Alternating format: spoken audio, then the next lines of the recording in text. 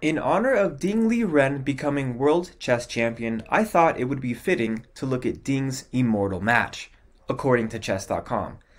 Let's get into the match. Ding is playing with the black pieces against Bai Jinshi. Book move after book move. Normal stuff for the Grandmaster level, not at my level. I don't even know if I can do one book move. And finally, a non book move, striking in the center attack the queen while simultaneously developing a knight. Interesting. Are you not supposed to push pawns in front of a castled king? Ding just did so. Strike in the center. And here we go again. Another pawn push in front of a castled king. I thought that this would have, you know, altered the eval bar in white's favor, but did not do so. Shuffling the pieces, the one and only inaccuracy for Ding during the whole match. A miss after miss, right? Did Ding just give up the queen?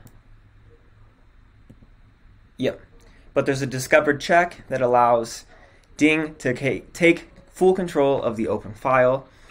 And even though Ding is down one point, soon going to be two points in material, the eval bar is minus 3.4. Great move after great move. Ah, the first brilliant move of the game. Why is this brilliant? Well, what happens if there's a capture on d4?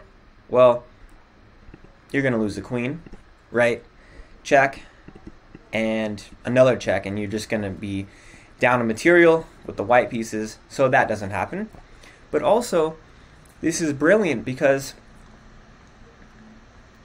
there's a second threat, which is mate, right? If you can have control of the g4 square, you can mate the white king, right? It can't escape, it's entombed. Bai notices that, wants to add a defender to the g4 square. Still, Ding goes for the second brilliant move in a row, adding pressure to that G- same g4 square. Goes forward, and this king is just kind of having to get out of the way. Another brilliant move. Why isn't brilliant? Well, what happens if white takes the rook? Similar thing, you're going to lose the queen, right? So instead of taking, white evades um, the threat. This king is just going down the left hand side of the board, and Ding takes control of h6, g6, and f6, making sure that that king can't move. Slides out of check.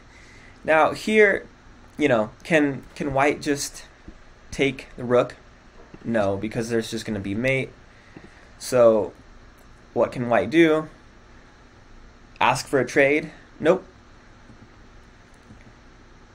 This is just uh, interesting stuff, right? There's a check. Nothing you can really do about it but take that pawn. And here we have a check. But look at this. There's just nothing you can do. It's going to be mate. And there it is.